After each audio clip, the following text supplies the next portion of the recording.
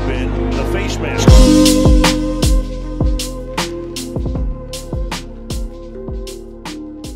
What's going on, everybody? It's Nick Payne with Face Mask Fantasy. And before I begin, just a quick announcement the first version of my redraft draft plan is officially available. It's the second link in the description of this video. That's just a simple click and download. You can also find it on our website at facemaskpod.com. I have player breakdowns for 150 different players and positional strategy based on how your draft may unfold. This is a living draft plan that I'll continue to update throughout the preseason as camp battles unfold and injuries take place. Be sure to check back for updates as I help you build the optimal team for you to win your redraft leagues. Now, on to today's topic. As we move into redraft for 2022, we'll profile some players and how we feel about them ahead of the season. If there's any one player you want us to profile, let us know in the comment section and we'll be sure to cover him. Up today, Packers rookie wide receiver Romeo Doubs, the 132nd pick in the 2022 NFL Draft, landed in one of the most opportunistic situations a wide receiver could ask for this year. Not only will Doubs be catching passes from one of the best to ever do it in Aaron Rodgers,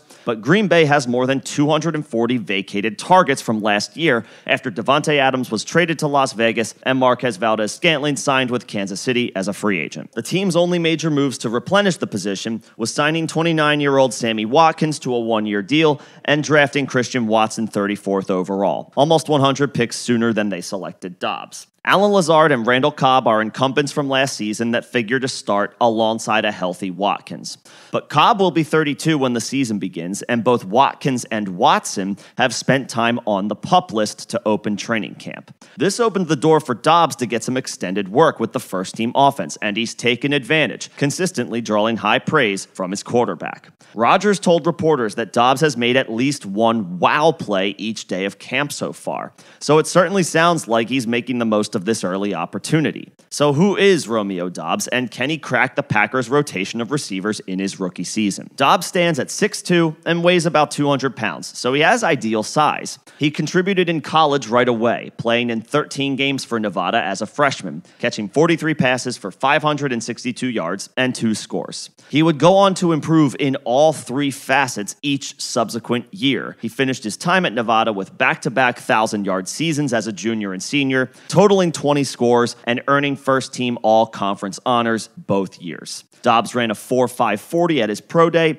and has an impressive breakout age of 19 years old, both according to Player Profiler. He also contributed on special teams in college, so he could see a little bit of work as a punt returner in the pros. All this to say, Doubs checks off all the boxes as far as consistent collegiate production. Watson, his new teammate and fellow rookie, is considered a bit more of a project with a higher long term ceiling. But with the lack of playing time in camp so far, he's probably behind the eight ball. Doubs could conceivably see some early season run ahead of Watson if he's able to continue building chemistry with Rodgers and capitalizes on the significant playing time he's going to get in Green Bay's preseason games. As I already mentioned, it's not likely he supplants any of the veterans at the top of the depth chart coming in as a fourth round pick. But Watkins and Cobb have battled numerous injuries throughout their careers. It's simply not likely they hold up throughout the entire season. So the younger guys on the depth chart are going to be asked to step up at some point. The vibes are officially strong enough to feel like Doubs is the young player worth taking a chance on. He's currently got an ADP on Underdog Fantasy of about 177, so he's creeping into the 14th round, and that will likely climb as long as the updates remain positive. And with a wide open opportunity, that's something I'm on board with. Take a shot on him as your wide receiver five or six near the end of the draft, as it's officially likely he gets drafted in even shallow redraft leagues.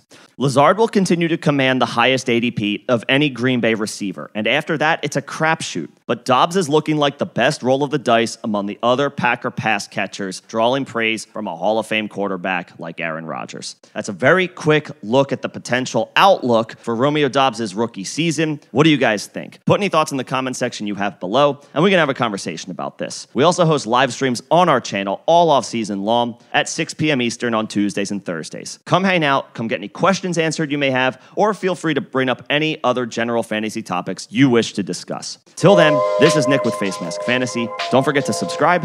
Thanks for listening.